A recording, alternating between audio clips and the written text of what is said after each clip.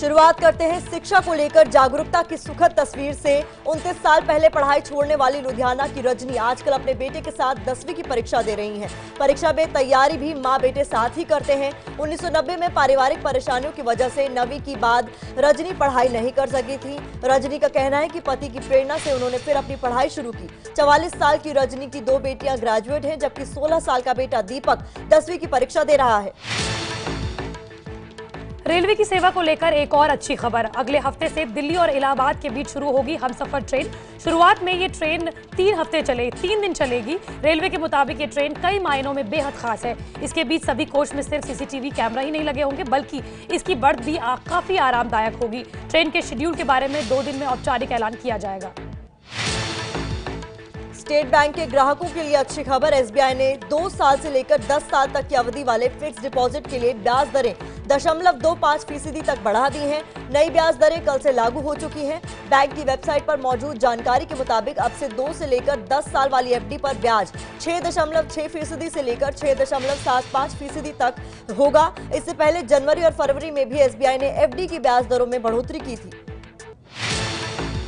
कर्मचारी भविष्य निधि संगठन यानी ईपीएफओ लाया है। आपके लिए अच्छी खबर। ईपीएफओ ने पेंशन पोर्टल शुरू किया है। इस पोर्टल से पेंशन से जुड़ी हर तरह की जानकारी आपको ऑनलाइन मिलेगी। पेंशन भुगतान ऑर्डर नंबर पेंशनर भुगतान पासबुक की जानकारी समेत जीवन की प्रमाण पत्र की जानकारी भी आपको ऑनलाइन मिल सकेगी। ईपीएफओ की वेबसाइट में ऑनलाइन सेक्शन में जाकर ये जानकारियाँ आपको मिल जाएँगी। अगर आप म्यूचुअल फंड में निवेश करते हैं तो आपके लिए अच्छी खबर। शेयर बाज़ार पर निगरानी रखने वाली संस्था सेबी ने बोर्ड की बैठक में म्यूचुअल फंड की लागत घटाने का फैसले को मंजूरी दे दी है। इस फैसले से अब म्यूचुअल फंड में निवेश करना सस्ता हो जाएगा।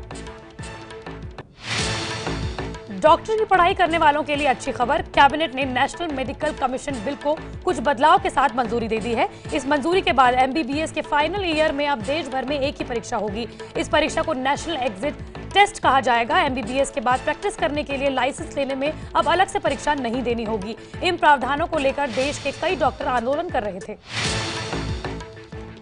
अगर आप मांसाहार के शौकीन हैं तो आपके लिए अच्छी खबर। मध्य प्रदेश सरकार ने मशहूर कड़कनाथ मुर्गे की बिक्री के लिए मोबाइल ऐप लॉन्च किया है। मतलब ये कि आप देश में किसी भी हिस्से में कड़कनाथ मुर्गा ऑनलाइन ऑर्डर कर मंगवा सकते हैं। इस मुर्गे की खासियत ये होती है कि इसमें फैट कम और प्रोटीन ज़्यादा होता है। ये मुर्गा इतना मशहूर है कि एमपी और छत्तीसगढ़ सरकार इस बात पर आमने सामने रहती है कि ये मुर्गा उनके राज्य का है। कार के शौकीनों के लिए अच्छी खबर। अच्छी तस्वीरें न्यूयॉर्क से न्यूयॉर्क में चल रहे इंटरनेशनल ऑटो शो में जैगुआर लैंड रोवर ने अपनी अब तक की सबसे तेज और दमदार एफ़ पेस जैगुआर एस की झलक दुनिया की, के सामने दिखाई। इस कार को जैगुआर लैंड रोवर की स्पेशल व्हीकल ऑपरेशन ने बनाया है। नई एसवीआर कार यानी पुरानी एफ़ स्पेस के मुकाबले 44 फ़ीसदी ज़्यादा दमदार है। कंपनी ने नई एफ़ स्पेस के एक्सटीरियर और इंटीरियर में कुछ कई बदलाव भी किए हैं। एक सुख का समाचार रिज़र्व बैंक ने भी दिया है। गुरु गोविंद सिंह जी महाराज के 350वें प्रकाशोत्सव पर रिज़र्व बैंक ऑफ़ इंडिया 350 रुपए का सिक्का जारी करने वाला है। खास बात यह है कि इसे आम जनता के लिए भी बाज़ार में उतारा जाएगा। वित्त मंत्रालय की तरफ़ से जारी एक नोटिफिकेशन में ये जानकारी दी गई है।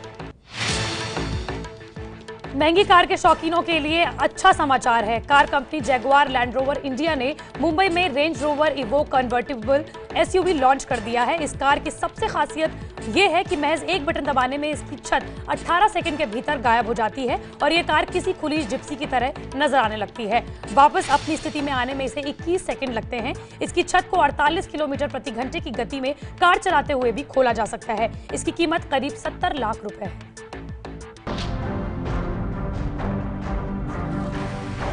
पुण्य प्रसून वाजपेयी आ रहा हूँ एबीपी न्यूज़ पर।